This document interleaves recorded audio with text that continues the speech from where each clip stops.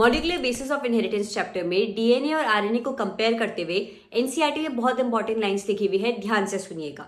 बच्चों for storage of genetic information DNA is a better genetic material क्योंकि DNA is more stable than RNA लेकिन for transmission of genetic information RNA is a better genetic material ऐसा इसलिए है क्योंकि अगर आप लोग central dogma of molecular biology देखिए तो डीएनए से प्रोटीन्स बनाने के लिए पहले डीएनए से आरएनए बनना पड़ता है और फिर आरएनए से प्रोटीन बनता है यानी कि DNA is dependent on R RNA for synthesis of proteins लेकिन RNA can directly codes for protein since RNA can directly synthesize protein and DNA is dependent on R RNA for proteins that is why for transmission of genetic information R N as a better genetic material sum up करते हैं. For storage of genetic information DNA is a better material for transmission of genetic information information RNA is a better genetic material. इसी तरीके की quick revision videos के लिए stay tune to biology